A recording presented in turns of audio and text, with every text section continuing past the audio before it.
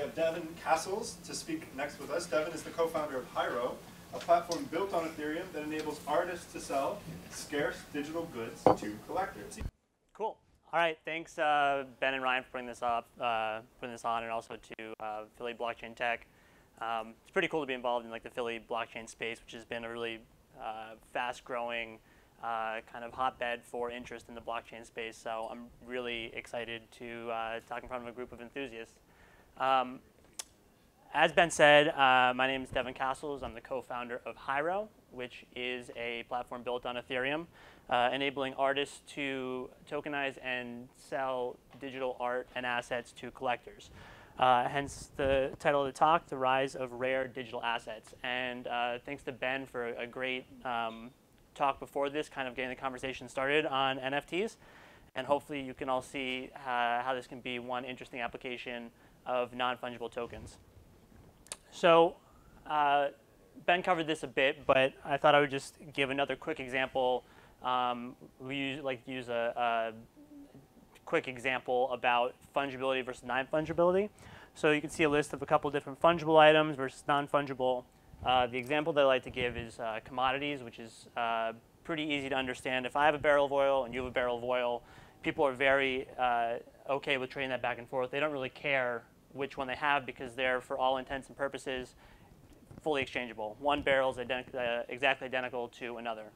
You compare that to uh, rare coins, for example. So if you have the 1943 penny made out of copper that sells for 85 to $100,000, you're not going to be too eager to sell or to trade that for a different penny, right? They're both pennies, but one has a characteristic that the other one clearly does not have and makes them fundamentally different and uh, a reason why you wouldn't want to exchange them.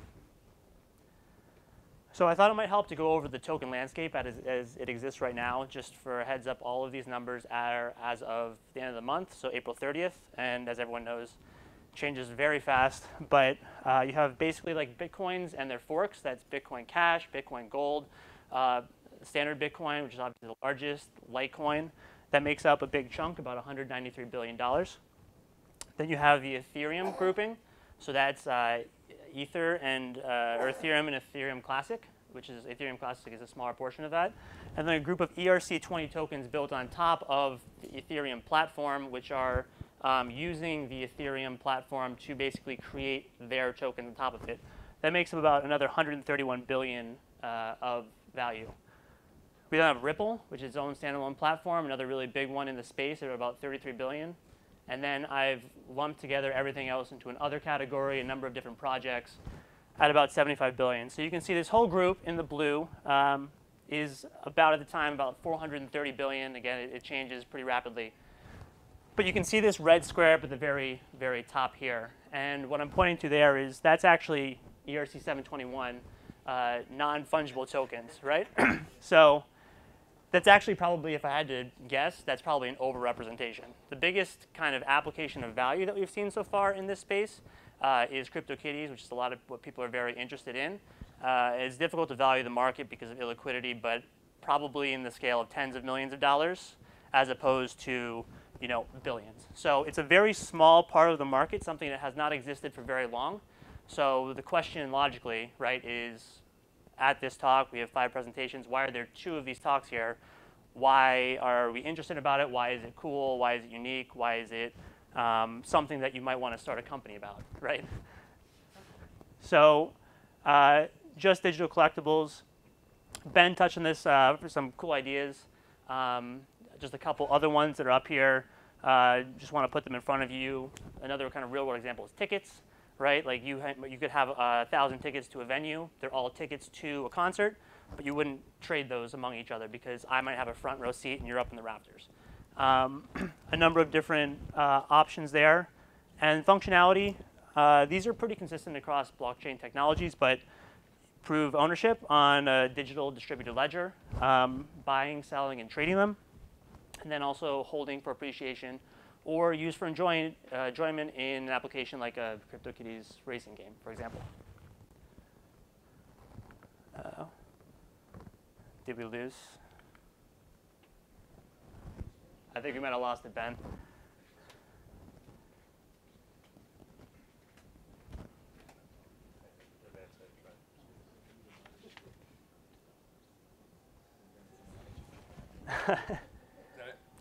So Hyro in uh, particular, so now moving on to kind of a, a specific application of these non-fungible tokens.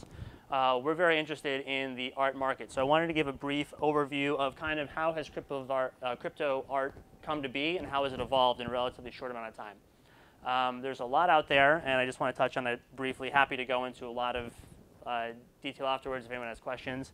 Um, the first example that uh, we really saw at scale uh, with an interested community behind it was Rare Pepes, uh, based on Pepe the Frog, which has a, a, kind of crazy, interesting history of itself. But basically, the idea is there was a whole community of people that were interested in creating cartoons, drawing them, and submitting them to the Rare Pepe team, who would then decide which ones were uh, good for the community, which they wanted to put out for as, a, as, as an issue.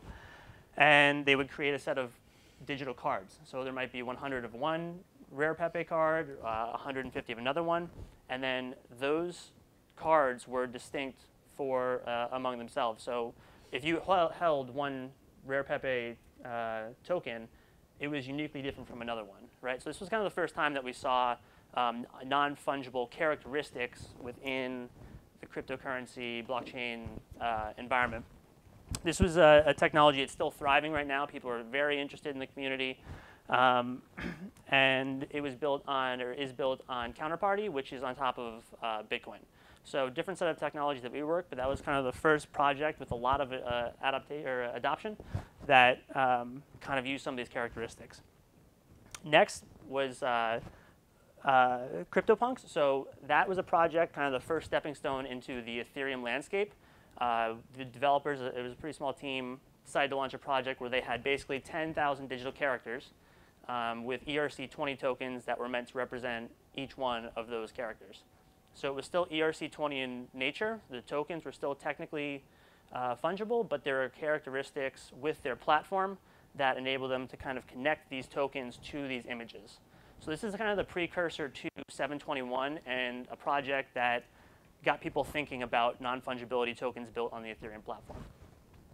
Uh, CryptoKitty is the big one. Everyone kind of talks about, knows about. That was the real call it game changer that uh, got people excited about uh, ERC 721 and non-fungible tokens on Ethereum.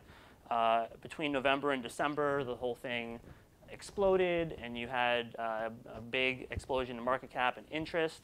Um, it was kind of an early standard version of ERC 721. It's since the standard has since been adapted and standardized a little bit more, but it was the first one to use ERC 720 characteristics where you were actually able to embed specific information within the token to make them completely different from another token. Uh, and the last one I have on here is the Forever Rose. So it's a bit of a step um, back in terms of token technology in that it's using the ERC20 standard. But the reason I have it, uh, it was it was sold in uh, Valentine's Day this year, and it's by an artist you might have heard of called um, Kevin Abosch who is a favorite or a very famous uh, portrait photographer who famously sold a, a portrait of a, a, potato for a million dollars. Right, he sells a lot of portraits of celebrities and very very famous guy. He entered the space and basically sold these 10 tokens for $100,000 a piece. With the representation, in his words, the art is the token, right? So the person's buying and owning, and uh, they are buying for the value of the token but he's offered up this rose, this portrait of rose, as kind of like a symbolic representation of that token. So not ERC 721 in nature, ERC 20, but really cool because it's the first time that we've seen a really wide scale, wide known, famous artist start to explore how does my work interact with blockchain, blockchain technology? How can I start to think about what artwork in and blockchain together looks like? So Enter in Hyro. Uh, we are a company that's trying to take that discussion to kind of the next, the next level. So what we do is we work with digital artists to help them uh, tokenize their digital art, connect their artwork to a series of ERC 721 contracts, and then allow them to, uh, through our marketplace, sell those, uh, that digital art to collectors. Um, the big thing we were talking about a bit back and forth and having a debate about what's the value or what's the um, unique attributes of this technology that is really necessary. Well, we think that uh, in digital art. That's a very, uh, it's, it's a very um, unique need that it's solving because files online before the introduction of ERC 721 and blockchain tech uh, suffered a lot from the ability to share them without fear of being very easily copied, uh, freely exchanged, downloaded, where none of the values make it back to the artist, right? That, that issue of copy paste and losing attribution back to the artist at this current period is rampant. It's really for digital artists, uh, I think, kind of like Napster era in 2000, where you put out art there and it's just free for anyone to take, and it really takes away from the artists. Um, briefly, it, it, provides a marketplace. So once you buy a token, you can you can appreciate and view the art online, but you also, if you wish, you can sell that on the marketplace and exchange it with other users. And the last part that uh, we're most excited about is it changes the economics for artists because with blockchain tech, uh, we're able to not only attribute initial sales back to the artist, but also future sales back to the artist. So when the art is transacted through our platform, uh, we'll give a percentage of that transactional value back to the artist so they can benefit from the appreciation of the artwork. So really, really trying to solve for this problem with artists where they had to go through a period where they're underappreciated, uh, have to basically give away their artwork for a long time to get recognized and noticed. Uh, collectors reap the large lion's share of that value, and then uh, they have to either wait a long time until they're recognized as a well-known, valuable artist, or sometimes you know they never see that in their lifetime. So this is hoping to uh, change that dynamic.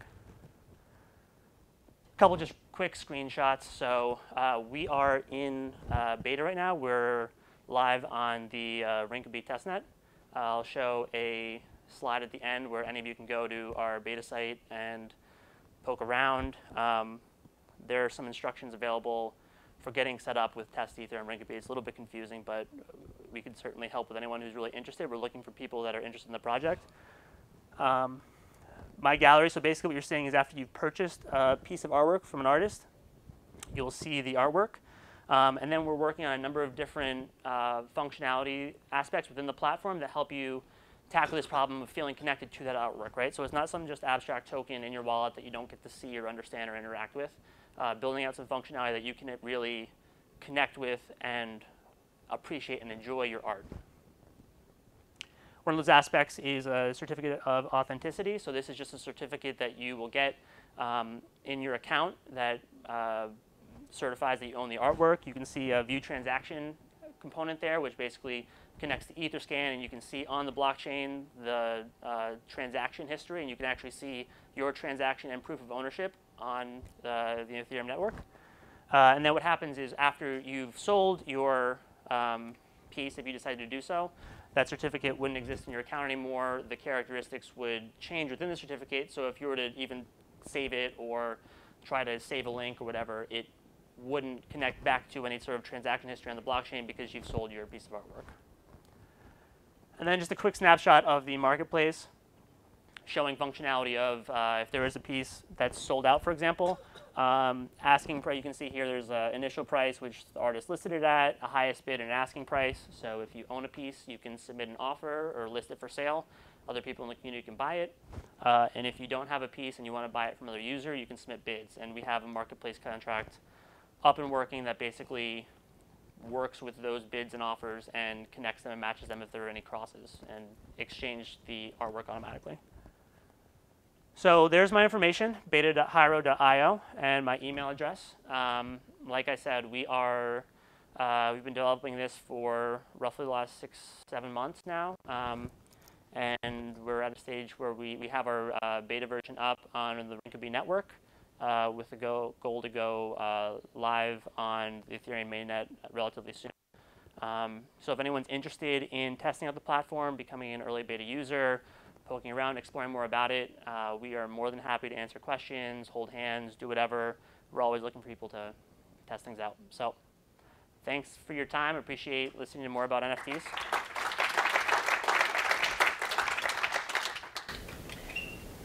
Sure. So, um, like a traditional art, right? Yep. You buy a Van Gogh, you put on a wall to tell the world I have a Van Gogh. hmm How do collectors display the art while they own it? Sure. So uh, we're working with a couple different ideas on this component. I think the first for um, enthusiasts in the space is, believe it or not, controlling or owning something within a wallet is somewhat like, uh, among the people that are interested, is somewhat like displaying that. Having that token in your wallet does convey some value, which, as I was coming up in the space, uh, was a little bit foreign to me, but it, it does, with people who are early adopters, uh, they do appreciate and have that as a point of pride. Um, secondly, we're working on, this is probably a down the road development that we're working on, but essentially uh, an idea we're calling print and burn. So there's a concept in um, token uh, blockchain tech, which is basically burning. You can send to a wallet that is owned by no one, and when you send it to that wallet, it's gone forever, right? It completely wipes it off the face of the earth from existence. No one can ever retrieve it. It's gone the service that we're envisioning is basically you could choose to send your wallet to their, your uh, token to that address. When you do that, then we will basically print like an on-demand printing service and ship you a physical version of your art. So if you want to do that, you can uh, basically have a version of your artwork um, in your home. The trade-off there is that you can't then print it and then go and sell it on a marketplace and have both things with the profit and the ownership on your wall. Um, the third thing is there are a number of different kind of digital displays that are existing. People are coming up with ideas for digital frames. Um, so we're actively looking at possibilities of working with um, either integrations into machine or uh, technology people already own, like TVs, or dedicated uh, services that basically you can display artwork on in kind of high resolution versions. Uh, sure, go ahead. Um, so, going back to CryptoKitties, because we touched on enough about that. Um, so when and they had a, they actually had a pretty uh, uh, detailed uh, document about how they did the bidding during the thing, because like every bid essentially would be, and it like it would actually run uh, exhaust gas because you were actually you know so like they had they had this whole mechanism on how they would do basically blind auctions. I think. Um, are you doing anything like that, or is it just a hey, I'm going to attempt to buy this, uh, and then I'm going to spend my ether making that call to get it. But if somebody else gets it by that time, I may not get the artwork, but I've spent ether or, or, or the gas for making Sure. So just to give everyone a heads up, kind of similar to a lot of the other people that are talking, I'm not actually in the coding aspect of creating the contracts.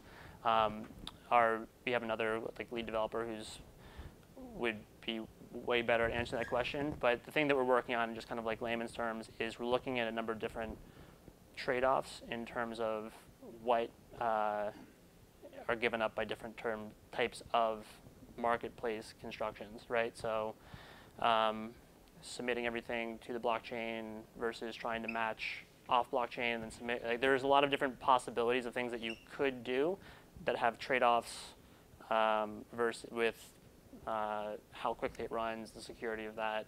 Um, another thing that we're actively looking at is the Ethereum project's uh, planned development of um, sharding and proof of stake and some of the things they're working to do to rapidly increase the ca uh, capacity of the network. So it's a little bit difficult with this technology where you're developing and everything's kind of a moving target, right? Like we were developing, Decentraland proposed uh, an ERC 821 protocol. We used that for a little bit. Then the Ethereum community kind of got behind 721, so we reverted back to that. The Ethereum network is uh, introducing a lot of different aspects. It just it's such early days in this technology that some of the decisions that you make, you're, you're kind of aiming for a moving target. So it's kind of a long answer to that, but I, the real answer is uh, we're still working the best manner to handle a marketplace contract at scale. Yeah. Um, I'm just curious, so if I understand, one of the things that gives the token its value is its authenticity. And what I mean by that is, um, let's say there's only a hundred available copies of uh, this uh, image of the rose. Um, is there a risk that somebody who owns one of those copies could make copies of themselves and distribute those, images out through, you know, through the internet? Yeah, it's a good question. So what we're yeah what we're looking to do is basically expose different parts of the artwork depending on the phase that you're in right so when i don't have a live view of it but basically when you are uh, initially looking at a piece you don't actually see the full piece all at once as it is it's kind of obscured a bit and you have to buy it to be able to unlock a full kind of like view of it on your screen when you do that and it's on your screen, you're seeing something that's acceptable for a um, kind of digital display on a laptop, but which would not be great at all for uh, distribution, replication, or printing. Think of like when you take a picture on your phone and it's very low res and you try to blow it up and it looks terrible. So we're basically, when someone owns a token, exposing a low resolution version of that where they can still like enjoy it in a digital sense. But if they're trying to copy it and like we're storing the high resolution version on the back end. And then if they were to use something like an integration with uh, hardware or a print and burn, that's where we bring in the super high res version and then we expose that for the final version of viewing it. So it never actually exposes the full digital. Right. Some of the artists that we're working with are sending over file sizes that are enormous and really non-usable in you know, a website functionality as it is. So we're, we're working with artists who are sending over really, really large files. So we're exposing kind of smaller versions that you can enjoy and view, but uh, if you're trying to rip the version, it's not going to perform very well for you unless you like blurry photos on your wall. So you're storing these larger images off the blockchain, right? Right, yeah. The, it's cost prohibitive at this point to store on, on chain. Is there anything that artist does to the, uh, the, the work in the physical world to indicate that it has this digital echo? Uh, so are you referencing like if someone had like a painting and this is like an uploaded version of the, right now we're working with only digital art. So it's not something that it's like a picture of, you know, you wouldn't be taking a picture of a Monet and then uploading that picture and selling it. These are digital artists who are creating them in digital mediums. Um, and so it really only exists in digital form. In the fullness of time, do you think there is some sort of a link between the real world and the digital world? Yeah, I think definitely. I mean, there are already a couple of projects out there that are working with, uh, there's a project called Verisart, I believe it is, and there's one other that I'm forgetting, but they're basically looking at provenance and ownership of digital or physical pieces where they're working with very high-end curators and verification processes of art to create ownership of high-end, valuable physical artwork on the blockchain. Um, we're kind of taking the other aspect of that where we think that uh, currently the market for digital art is, is pretty small, but something that could be extremely, uh, like much, much larger. So we're focusing on uh, the component of digital art at this point. So that company's Veristar? Uh, Veris Art? Veristar. Yeah. Uh, so when a when a ERC 720 was minted, like say uh, the CryptoKitties or the like smart contract mints one, is there anything embedded inherently in the token that tells it what like that it's a kitty or what it is, or does it completely depend on like the app or, and like the developers to tell it what it is? Yeah, so it, there is, Like, in, like inherently in the ERC, like could I take the, the that token uh, to some place that's like not crypto CryptoKitties or not Hyro, it'd be able, like something else be able to tell it it. Yeah, so my understanding of CryptoKitties, for example, and not super technical with it, but is that it's basically um, just a hash sequence of characters, and then those characters within their platform mean something. So basically, it's the interaction with that. Like in ERC 721, their token has a field which has this hash string, and if this hash string ends in, uh, you know, zero zero, for example, then that's a googly-eyed cat. And any cat that has that specific, it's almost like a DNA strand or something else where it has like all these different sequence of numbers that mean something. So if I were to just look at that token to a human or off platform, it would just look like this is just a 721 token with some strange bit of characters in it. When I plug it into the platform and I have something that's able to read that string, then it creates the image that represents those characters. Could tell that it, is a though? Yeah, I mean, the, the really cool, some say it's awesome, some say it's difficult for uh, companies, but a lot of this, really all of it, is uh, open source, right? So these contracts have to live publicly. That's the nature of decentralized applications. So uh, theoretically, if you want to duplicate the contract code, I mean, think about uh, in cryptocurrencies, everything that people have done with forking. There's nothing to stop someone from forking and creating uh, a, another cryptocurrency. It's really about adoption and um, being able to produce something with your platform that people like. So the great thing about this from a consumer standpoint is that it's opening things up and the winners are really going to be people that provide great user experiences and great communities and networks where people want to use it and it's not some hidden black box code that no one can replicate. It's going to be the best companies that are going to win. Yeah. I'm sorry, one more follow-up question. So, like, would uh, a, an NFT that was minted for um, on Hyro Marketplace have value on a different marketplace? Like, would have the same It- value? Yeah, it, it depends. I, I- I don't know necessarily how people are going to value it. You know, we're thinking about building building a platform where uh, we're paying artists back through transactions that occur on our marketplace. So we want to build out a suite of functionality that encourages people to keep it and interact with it in our platform. Um, that doesn't mean that someone can't go on to OpenSea, for example, which is a, a platform for exchanging digital assets, and you can trade crypt- CryptoKitties or anything off market. Uh, with the nature of blockchain, you can do that freely. So we can't prevent anyone from doing that. Uh, the best that we can do is provide them an awesome experience with our platform and uh, hope that they value what we're providing enough that they're going to continue to use the platform as opposed to taking it somewhere else where they're not going to have the same functionality. All right, thanks.